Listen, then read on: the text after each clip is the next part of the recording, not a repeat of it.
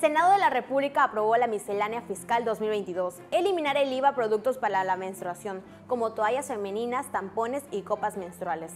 Menstruación Digna es un movimiento y un colectivo que promueve la gratuidad de los productos, debido a que se considera discriminatorio que se le imponga el 16% de IVA.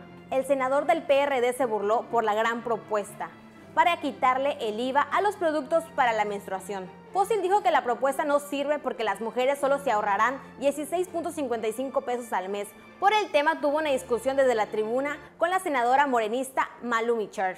La propuesta va más allá del ahorro económico, sino que permite el acceso igualitario a este tipo de productos, especialmente a mujeres de escasos recursos, que a veces no tienen ni sanitarios en buenas condiciones o agua potable. Mi nombre es Gabriela Tinales de Cancún Channel y Contrapunto Noticias.